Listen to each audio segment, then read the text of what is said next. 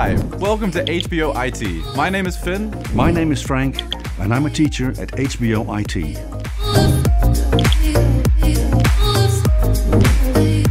Course is all about broad aspects of software engineering. So in the first two years, next to a lot of theory, you get to work in projects together with students for real clients. What makes the education fun is a practical, hands-on learning environment where you can really dive into modern IT disciplines yourself, uh, and an international learning environment that gives you exposure to all sorts of cultures from around the world.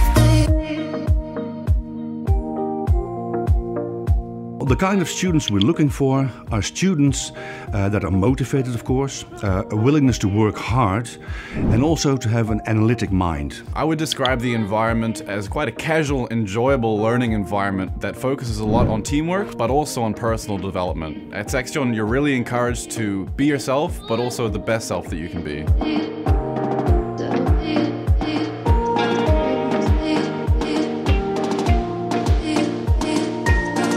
Well, what I think makes this course unique is the informal atmosphere.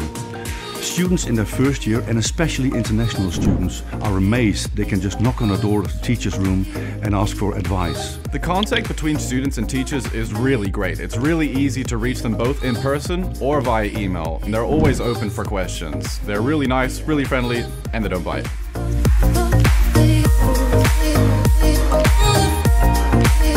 The options for graduates are manifold. Uh, whether it's back-end development, front-end development, working for a small internet company or for larger companies like banks or government institutions, uh, the options are there. And because we still cannot keep up with the demand from the market, you are sure to find a job within no time. I think you should definitely pick this course if you're motivated again, but also if you have an analytic mind, as I said earlier, but also if you like working together with students from all over the world, which is very special here.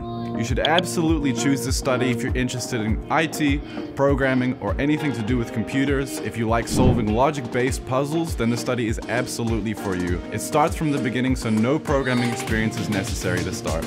Thank you for watching. Good luck with your study choice. Thank you for watching and good luck with your study choice. And more information can be found either on our website or during our open days.